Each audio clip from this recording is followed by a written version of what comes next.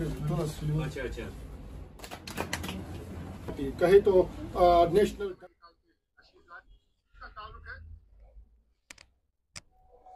شبد سے استعمال کریں گے we are the we are the voice of voiceless people یا اس کا جو لانچ ہوا ہے حال ہی میں یہاں سے جا کے ہم ارادہ کریں گے ہم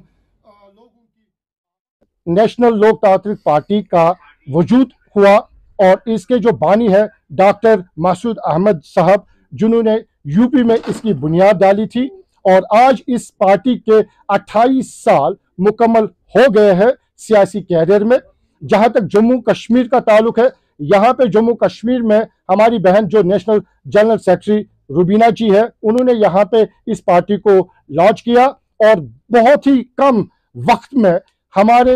میرے جانب جو اسٹیٹ وائس پریزیڈنٹ امتیاز صاحب ہے، جو انچارج لداخ کے بھی ہے، انہوں نے اور روبینہ جی نے اور باقی جو لوگ یہاں پہ جڑے ہیں اس تنظیم کے ساتھ بڑی وار فوٹنگ پہ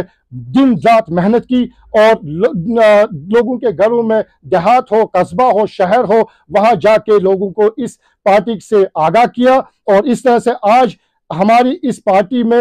جموں کشمیر لداخ سے ہر ایک جو باشندگان ہے، ریاست جموں کشمیر اور لداخ کے، وہ جڑے ہیں اور اس پارٹی کا جو بول بالا ہے اس وقت، ان پارٹیوں میں مانا جاتا ہے جو یہاں کی ریجنل اور نیشنل پارٹیز ہے۔ جہاں تک ہمارے پارٹی کا ایجنڈا کا سوال ہے، تو ایجنڈا کا ایجنڈا اس پارٹی کا بن رہا ہے اور اس کا بلو پرنٹ انشاءاللہ جو دوسری ہماری پریس کانفرنس ہوگی، اسی میں ہم اس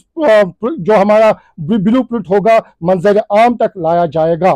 آج پندرہ دسمبر ہے اور یہ فاؤنڈیشن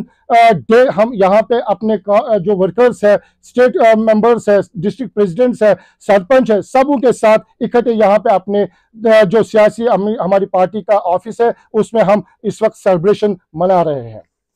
اور جہاں اب میں ایک بات اور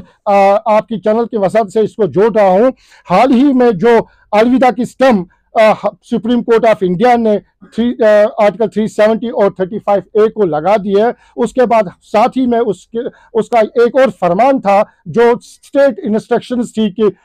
ستمبر دو ہزار چوبیس سے پہلے پہلے ریاست جموں کشمیر کو سٹیٹ ہوڈ کا درجہ دیا جائے اور آپ کی اس چینل کے وسط سے ہم اپیل کرتے ہیں گورنمنٹ آف انڈیا کو اور جو ہمارے ہوم منسٹر ہے پرائم منسٹر صاحب ہے کہ جلد از جلد وداؤٹ ڈیلے جموں کشمیر کو وہی درجہ دیا جائے۔ یعنی ہماری مانگ یہ ہے کہ سٹیٹ ہوڈ فل فور یہاں اس کا اعلان کیا جائے گا۔